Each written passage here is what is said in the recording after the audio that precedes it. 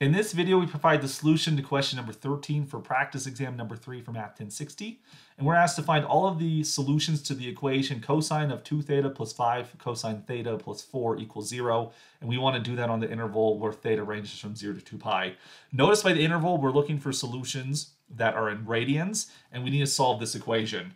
Well, we do have a mismatch of angles here. We have a cosine of theta and a cosine of 2 theta. So we probably need to use the double angle identity on cosine in order to get just thetas here.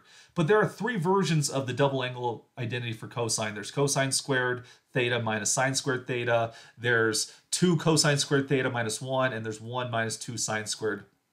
Did I say the other one right? Uh, 1 minus 2 sine squared theta. There you go. Since we have a cosine theta right here, our strategy is to use the identity that cosine of 2 theta is equal to 2 cosine squared theta minus 1. Because if we plug this into the equation, we then get a quadratic equation for cosine, which hopefully we can then solve that by factoring or the, or the quadratic formula, whichever we prefer.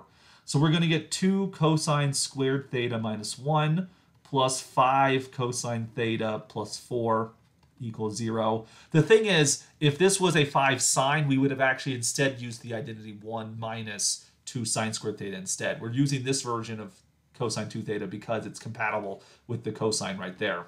Um, combine like terms if possible. There's a negative 1 and a plus 4, so we can add those together. We get a 2 cosine squared theta plus 5 cosine theta plus 3, like so.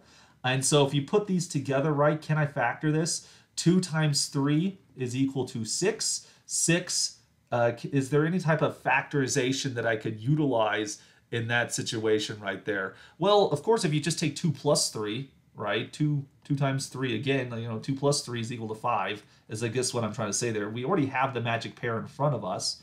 And so we can factor this by reverse FOIL. I bet I could probably guess the factorization because 2 and 3 are prime numbers, so there's not a lot that could go on there. To get a 2 cosine squared, you're going to have to have a 2 cosine theta and a cosine theta. That's the only option there. Um, I want the 2 to go with a 1, and I want the 1 to go with a 3, right? Talking about the coefficients, 2 and 1 makes a 2, and 3 and 1 gives me a gives me a 3, and then 3 plus 2 gives a 5. So this is in fact the correct factorization. We could have gone through more details with the group uh, with the group factorization, the reverse FOIL if we had needed to, uh, but we can we can guess it, and that's okay. Um, you can also use the quadratic formula if you prefer.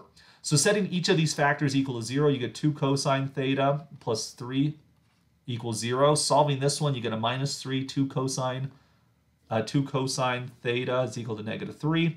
Cosine theta is equal to negative 3 over 2. Now remember that cosine, just like sine, is bounded above by 1. It's bounded below by negative 1. Negative 3 halves, of course, is negative 1.5. So it turns out there's no solution in that case. Cosine cannot equal negative 3 halves. You could have also taken arcsine of negative 1.5. You would have gotten an error with your calculator, which indicates there was no solution there.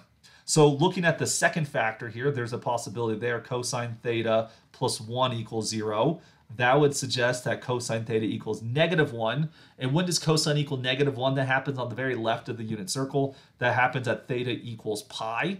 And we only need answers between 0 and 2 pi. And so that turns out to be the only solution to this quadratic equation. Uh, the answer is going to be theta equals pi.